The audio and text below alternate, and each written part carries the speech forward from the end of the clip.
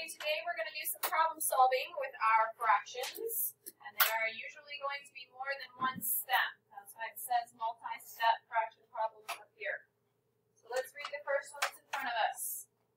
A gift shop sells walnuts in three-fourths pound bags.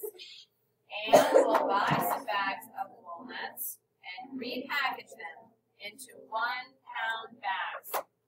What is the least number of three-fourths pound bags Anne could buy if she wants to fill each one pound bag without leftovers? Okay, so take a look at what they're doing here. Pay close attention to what they're writing in here because you're going to have to write it when you get to the second page. Notice how you have nothing to fill in? So what they write here is what we're going to need to change over on the other side to match our problem.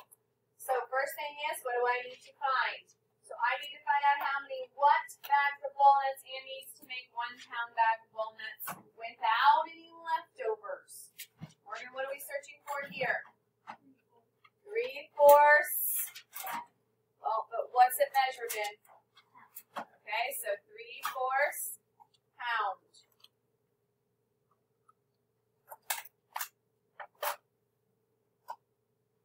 We want to know how many three-fourths pound she's going to need to make one pound bags of walnuts without any leftover.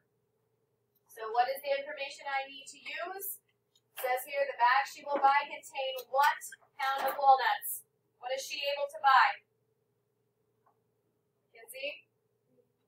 Three-fourths pound, okay?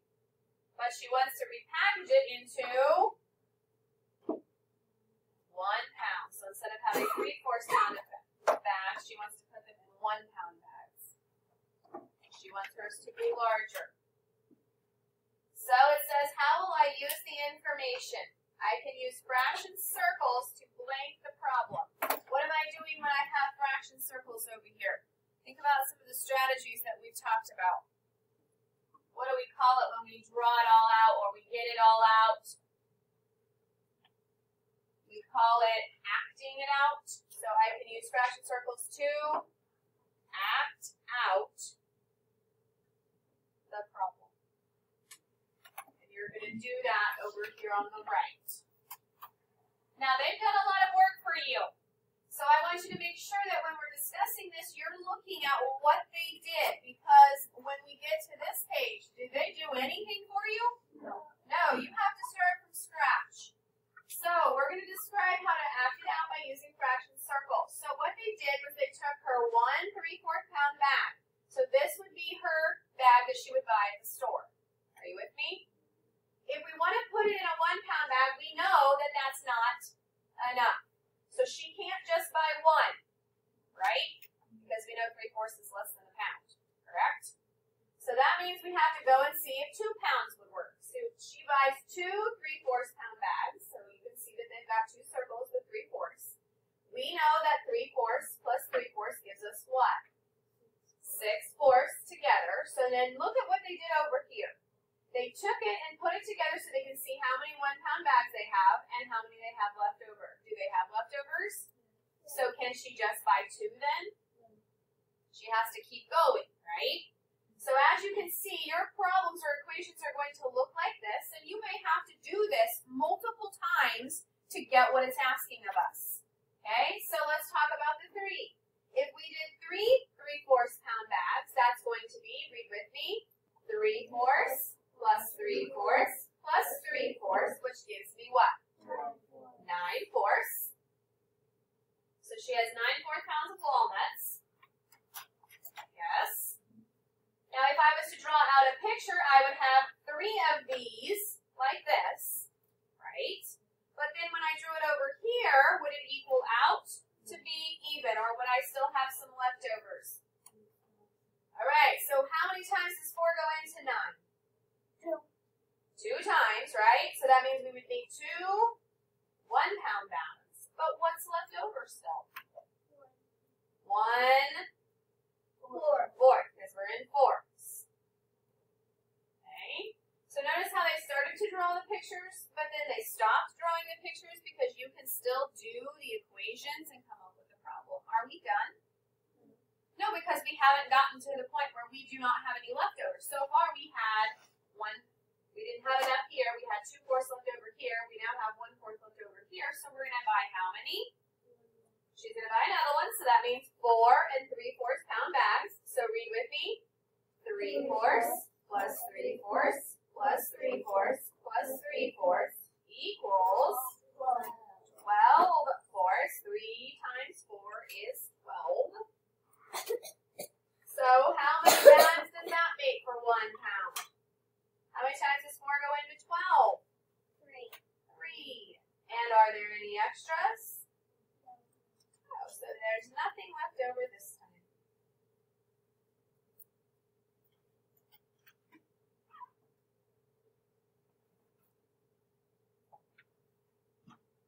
So that means that Anne's going to buy how many three-fourths pound bags of walnuts? Four. Right here is where we were at. So it takes four three-fourths pound bags in order to make three one-pound bags. And don't have any leftovers. Now, could we have drawn out all of the fraction circles to go along with all of these? Yeah, but do we need to? No. So it might not be a bad idea to start it out, see what's happening, and then you can just use the equations to find out what you need. Okay, so that time we had to take four different bags just to make what we needed. Now, there may come a time where you have to do that seven times. Okay? Does anybody have questions on what we just did? Because you're going to do another one starting from scratch on the next page. All right, let's look. Not going to be the same kind of thing. Have something different to try.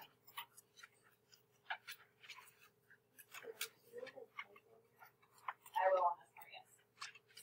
There's not enough room to do that.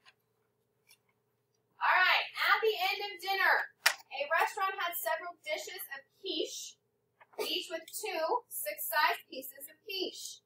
The chef was able to combine these pieces to make two whole quiches with no leftovers. How many dishes did the chef combine? Now, we didn't highlight on the last one, so let's make sure we do here because we have to figure out all of the information that goes in here. Our question is, how many dishes did the chef combine? Who can tell me the information I need to circle to be able to use? Cheyenne? So two six size pieces.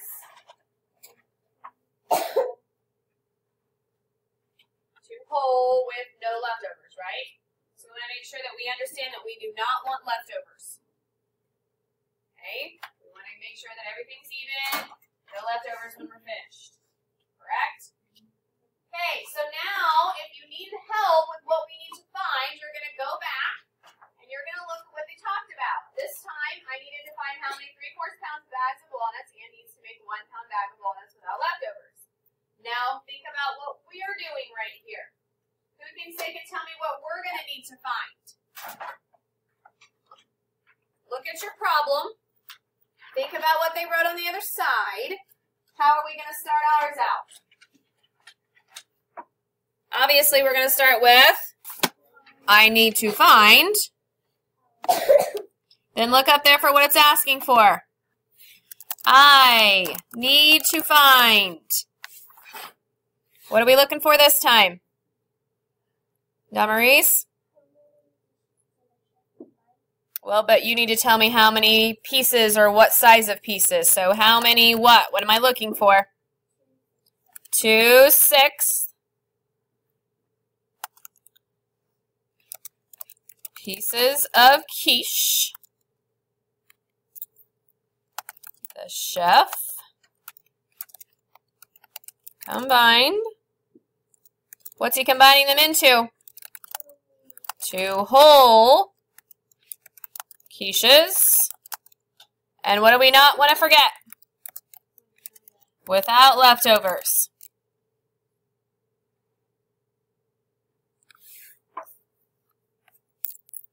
Everybody see that okay?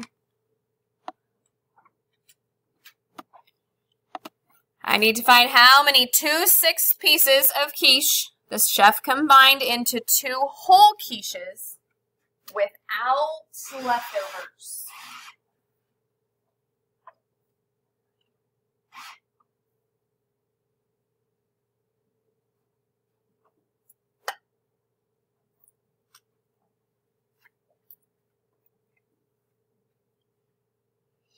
While you're waiting on others to write, think about the information we're going to write in the next box.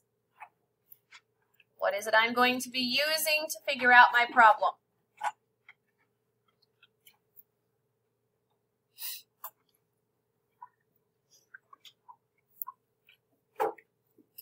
Let's think about the dishes. What does each dish have? Two-sixths of a quiche, right? So that's the first thing we need. Each dish has two-sixths of a quiche.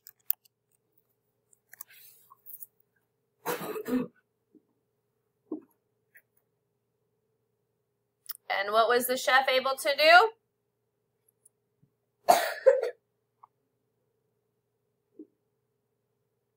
Mackenzie, what's he doing with those? Okay, so the chef combined the two six pieces to make two whole quiches. And again, with no leftovers. If we keep saying it, we won't forget that part. Each dish has two-sixths of a quiche, and the chef combined the two-sixth pieces to make two whole quiches with no leftovers.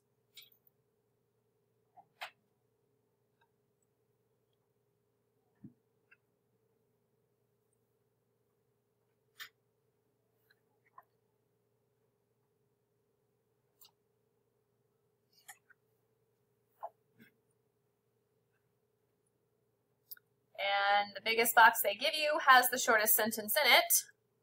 Think about what we wrote for how we're going to figure this out. How am I going to use the information I have?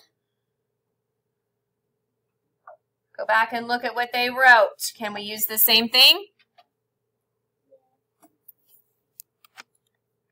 So what did they say? I can use fraction circles to act out the problem. So they gave you a big, huge box for that one sentence. Should have given you more room on the others. We're going to use fraction circles again.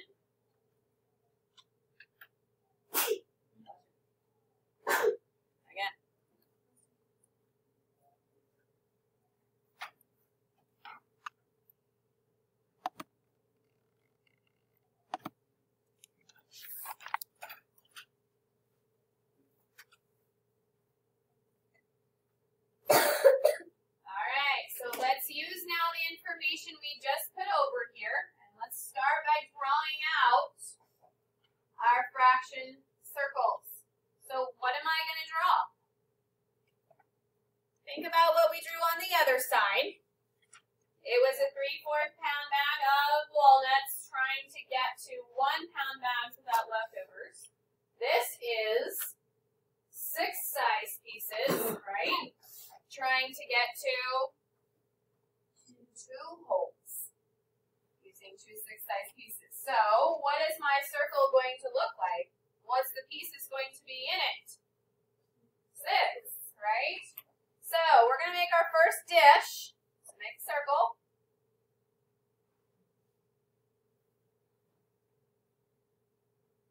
And you can do better than what I just did. I made a line down the middle and then an X to make six.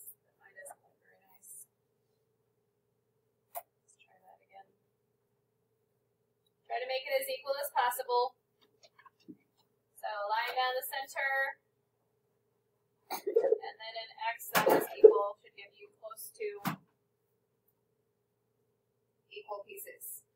So this is my first dish. What do I have to make sure I shade for my first dish? Two parts.